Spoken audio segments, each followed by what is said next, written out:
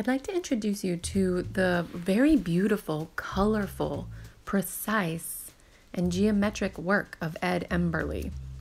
He has a book called Picture Pie, and in it, he shows many examples of how you can create beautiful geometric art as well.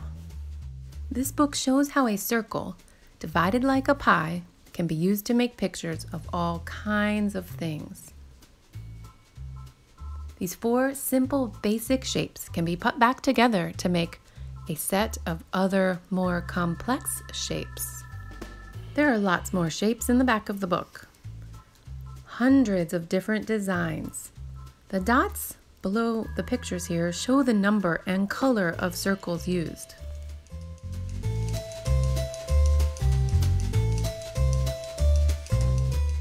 Frames, borders, and other repeat patterns. As well as a number of birds and other things. Here's how. And there's more instruction in the back of the book. You can always pause this video where you like to take a longer look.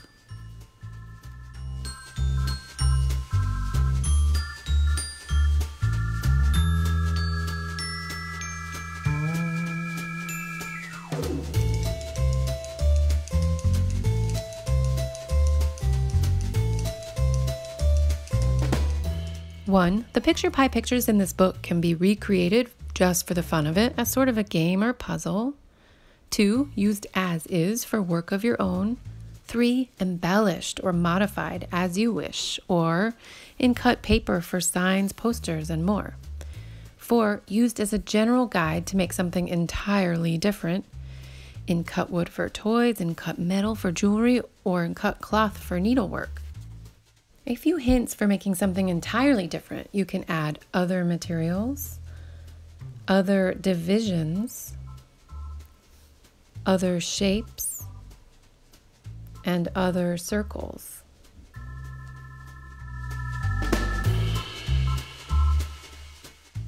It is possible to show only a few of the many things that can be made using picture pie parts. Much has been left for you to explore, discover, and take pleasure in. To get started making picture pie pictures, you will need five things. One, colored paper. Two, something to cut with. Three, something to stick it down with. Four, something to make dots and lines with. And five, something to make circles with. You can use a compass or you can draw around a cup, a can, or some other round object. You will also have to know how to make these four basic picture pie shapes. Start, fold in half, crease, unfold, and cut along the crease. All the pictures in the first part of the book were made using these four basic shapes. You'll be able to figure out how to make many just by looking at them. These diagrams will help you figure out how the rest were made. And you can pause the video whenever you see something you would like to try and make. So many species of birds you can pick. And insects.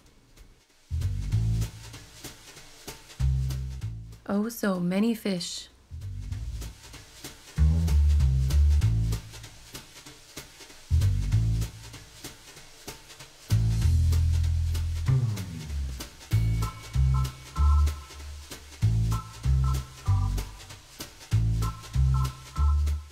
The plants and the trees.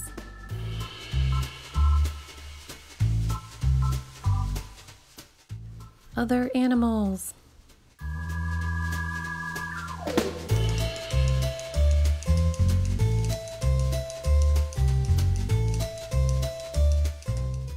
Even a clown.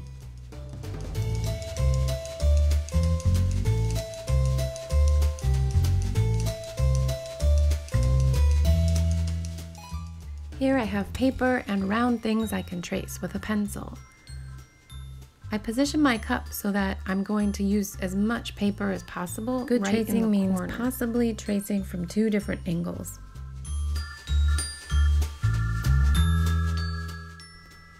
Or you may have a printout from a teacher that already has some cool shapes on it.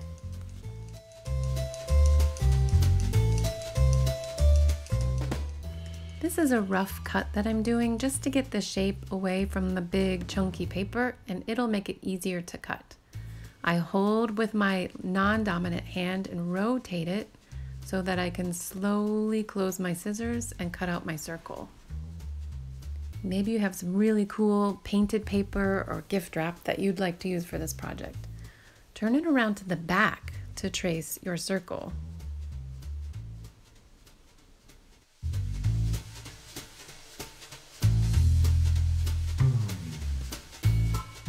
Once you've taken your time and cut out your circle, you should take your time to slowly bring the edges together and then pull out away from the edges to crease your paper.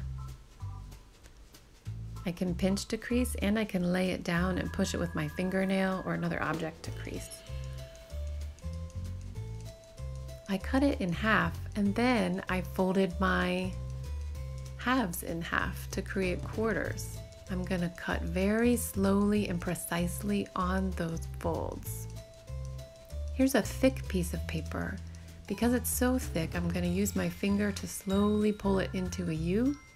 I line the edges with precision and I work very slowly to draw a line in the fold so that I can cut precisely on that line and cut that beautiful paper in half. I really like that fish and I can see from the picture it uses one, two, three quarter circles and one, two, three, four, five, six quarter circles of another color. When you're using your cutouts, make sure you put the pencil side down. You want the beautiful non-marked side to be showing before I do any gluing, I'm going to try the arrangement out. So I have the picture that I'm looking at and I'm just playing with the pieces. It's pretty fun. You might need to rotate them and you might need to double check that you have the right sizes. You will get more familiar with what looks like a quarter piece of pie and what looks like an eighth piece of pie and so on.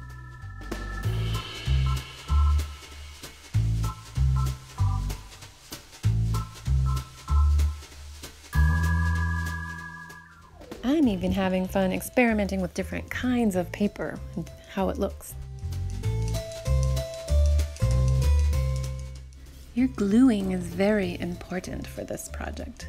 You just want to use a small amount of glue on the back of these tiny paper pieces, but you want it to be spread nice and thin all over the entire back. I'm using my finger, and then I'm going to need to patiently press each piece into place until it really binds to the background paper. With thick paper, you need even better adhesion, so you need to make sure that glue is slathered all over and then really press it down for even longer. When you are finished gluing all of your pieces, try and clean up any wet glue that is sticking out and then sneak some glue or glue stick under those edges, under those corners. Glue stick works great for this project as well as white Elmer's glue.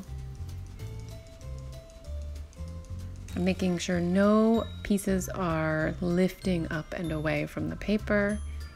And then I can even place a dictionary right on top for it to dry. Once everything is dry, you can go back and add any details you want. I'm using pencil first, and then I'm gonna add on some pen for my little frowny fish face. Have fun making your picture pie design. It can be anything you want.